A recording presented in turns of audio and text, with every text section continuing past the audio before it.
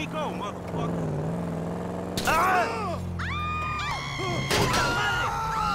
You're kidding! Man, sorry about that.